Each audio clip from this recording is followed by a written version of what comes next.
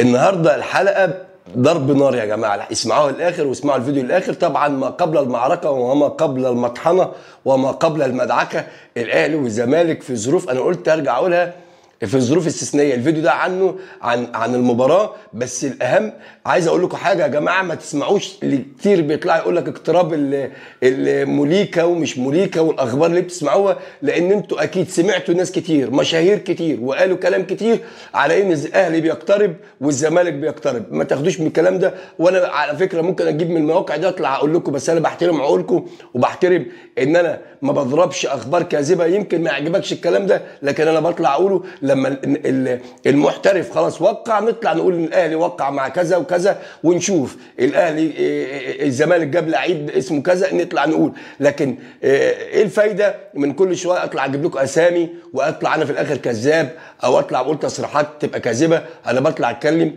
الكلام اللي أنا متأكد منه مش اللي أنا سامعه بس دي أهم حاجة. طبعا الفترة الأخيرة ما تنكروش أهلاوية وزملكاوية أسوأ صفقات النادي الأهلي عملها وأسوأ صفقات النادي الزمالك عملها. يعني الزمالك لو بصينا للصفقات الأخيرة كلها لو اتكلمنا على إبراهيم انضاي ولا حاجة سامسونج أنجونولا مش موجود عمر جابر جاي ليه ما تعرفش جدد لرؤى ليه ما تعرفش حمزة المسلوسة ليه مش موجود ملوش لازمة آه مين تاني يا جماعة؟ يمكن نبيل عماد دونجا محرات لكن كورة مفيش آه حاجات كتيرة مع احترامي الشديد لكن يعني الزمالك ماشية اللعيبة اللي كان المفروض الفلوس كلها دي اللي راحت دي كانت المفروض تكون موجودة. يعني أنا بقول طارق حامد لا تقول لي لا رؤى لا تقول لي نبيل عماد دونجا لا تقول لي عمرو السيسي. الفلوس اللي كان خدها دي وإحنا على فكرة طارق حامد ادى نادي الزمالك كتير. ومش عيب إنه يطلب فلوس ومش عيب إنه يعلي سعره ده حقه. لأنه إدى نادي الزمالك وبيدي وده السوق. زي ما أنت بتجيب لعيب زي ما أنت جددت لزيزو بمبلغ خرافي. لا طارق حامد. طارق حامد كان ابن الن- الن- النادي معاك وبقاله فترة معاك وعامل مب... يعني الوحيد اللعيب اللي كان في مصر. طارق حامد اللي مستواه ثابت أكتر من سنة وشايفين مستوى الرائع مع الاتحاد. ما شاء الله الاتحاد السعودي عامل إيه؟ أساسي ومكسر الدنيا مع الاتحاد السعودي واحمد حجازي. فأنت بالفلوس دي كلها كان طارق حامد كنت قعدت أساسي كنت قعدت لعيبة تصنع الفارق. أنت ما عندكش لعيبة تصنع الفارق. أنت عندك لعيبة كلها زي اللعيبة العاديين. لاعب لعيبه الأهلي والزمالك غالبيتهم أصبحوا لعيبة عاديين مش لعيب واو أو لعيب تقدر تقول إنه فارق عن اللعيبة اللي جنبه.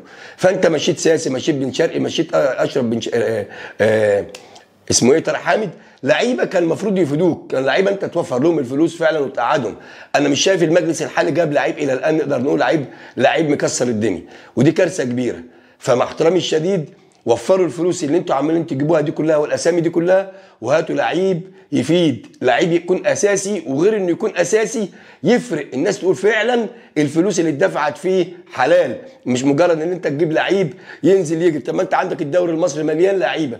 بس ما فيش فيه يعني الدوري المصري بتاعنا ما فيش فيه 10 لعيبة تقدر تقول عليهم لعيبة جامدة. الدوري بتاعنا ما بيطلعش لعيبة. بس حتى اللي انت جايبهم من بره زيهم. فما فيش فرق. فانت وفر فلوسك يا إما المبالغ دي كلها تجيب بيهم اتنين أكتر ما تجيب بيهم 10 وفي الآخر تبيعهم.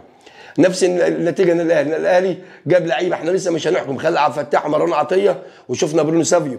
ميكسيون الد- ال- الدوري السعودي طبعا ابقى رجعه ومفيش حد عايز ياخده. ميكسيون المزاد عليه ببلاش ومع ذلك ما حدش عايز يشتريه. بيرسيتاو النادي الأهلي جابه إصابة مزمنة. الفلوس راحت فين؟ بيرسيتاو لعيب لكن مصاب. في حاجات كتيرة يا جماعة. فمين قالوا يعقو- يعقوبه وفي الآخر ما جاش. فطبعا أنا ما بطلعش أقول لكم الكلام ده آه، إلا لما بكون متأكد. فطبعا إن إحنا نرجع لموضوعنا. النادي الأهلي طبعا بيستعد استعداد تام وكل الفرقتين المعسكر الأبيض والمعسكر الأحمر المارد الأحمر النادي الأهلي والقلعة البيضاء نادي الزمالك مركزين جدا على المباراة. لأن المباراة دي بتفكرنا بمباراة القرن. الأهلي والزمالك فاكرينه بالقضية ممكن بالقفشة. لأن الظروف متشابهة. كان الأهلي متلخبط شوية لكن الجول ده أعاد له الحياة ورجع ال- ال- الاستقرار للنادي الأهلي ورجع ال- ال- ال- حاجات كتيرة كانت ممكن النادي الأهلي يخسرها من تذبذب مستوى من تخبط من مجلس إدارة حاجات كتير. نادي الزمالك التذبذب اللي هو فيه ده نفس القصة. إذا نادي الزمالك هز أرضية واتغلب من النادي الأهلي أكيد هيبقى في بركان في نادي الزمالك. أولهم فيريرا ماشي أولهم بعد اللعيبة دي هتتسرح. لأن غالبيه اللعيبه دي المفروض تمشي. غالبيه اللعيبه حاليا اللي في نادي الزمالك وأنا بقول اهو المفروض تمشي. في لعيبه كتيره في نادي الزمالك بياخدوا ملايين لا يستحقوا الالوف. فانا بتكلم اهو ان نادي الزمالك لازم يركز ونادي الزمالك يقفل على لعيبته. نادي الزمالك هيلاعب النادي الاهلي بدون خط ظهر. النادي الاهلي في استقرار بيعرفوا يقفلوا على اللعيبه إزاي. كهربا هيبدأ هيبدأ. النادي الاهلي. التشكيله إزاي؟ كولر راسم ال 11 لعيب إزاي؟ مين ال 11 لعيبه اللي هيكون موجودين في القمه؟ مين ال 11 لعيب اللي هيكون موجودين في مع الزمالك؟ هل فيريرا. هيستمر انه في الغطرسة والعند ويبدأ يألف ونشوف لعيبة مش في أماكنها وقدام الأهلي؟ ولا هيلعب كل لعيب في مكانه؟ ولا إيه بالظبط؟ لأن الغطرسة وعدم إن فيريرا يثبت اللعيبة في أماكنها من أحد أهم أسباب تذبذب مستوى نادي الزمالك. فهيعل فيريرا ويرجع لزمان ولا هيستمر في العند والغطرسة ويغرق نادي الزمالك؟ كولر إلى الآن لم يستقر بالشكل الهجومي. ومين هم البدلاء اللي هيكونوا في خط في خط في دفاعات نادي الأهلي؟ هل هيبدأ محمد هاني رامي ربيعة؟ هنشوف علي معلول مين اللي هيبقى موجود في خط الأربعة خط ظهر النادي الأهلي؟ لأن ده في مشكلة كبيرة في دماغ كولر. المهم النهارده في حلقة في حلقة استثنائية كمان يا جماعة بالليل. هنجيب بقى آخر تفاصيل آخر أخبار المعسكرات. المعسكر الأبيض والمعسكر الأحمر.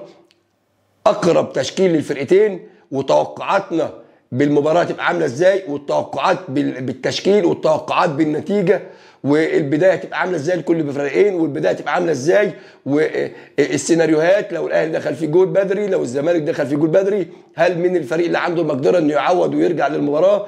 المهم كلام كتير النهارده فيديو تاني حصري وفيديو جامد جدا النهارده. بشكر كل الناس اللي اشتركت وعلقت وقالت تعليقاتها وانتقدت. سلام عليكم.